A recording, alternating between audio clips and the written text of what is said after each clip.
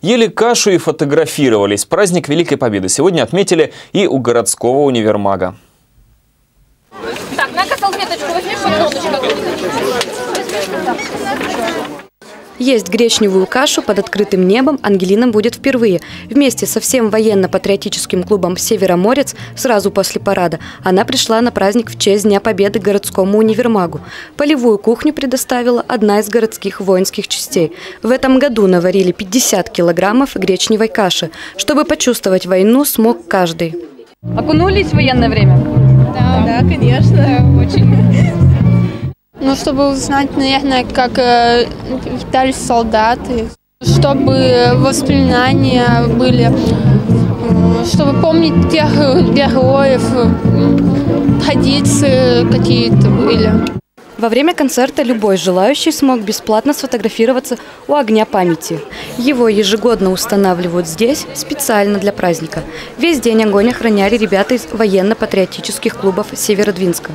Вспомнить людей, что победили э, Гитлеров. Да? Ты что-то о войне знаешь?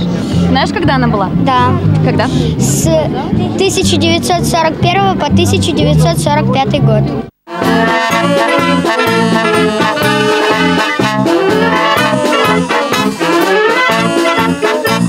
Концерт в честь Дня Победы проводят более 10 лет. Приглашают творческие коллективы из Северодвинска. В этом году была группа «Прекрасный город» из Архангельска. Организаторы каждый год приглашают и оркестр военного гарнизона. Любимая живет, липы шелестят, и садится в карусель, мне ее солдат. Концерт очень понравился. Молодцы. Особенно девчонка так хорошо пела э, про войну. Наши, наши дети, внучки помнят, нас уважают. В следующем году на празднике в честь Дня Победы организаторы планируют собрать еще больше людей. На 70-летие со Дня Победы у них уже есть планы новых для города мероприятий. Евгения Карелина, Семен Самигулин, Вестник Северодвинска.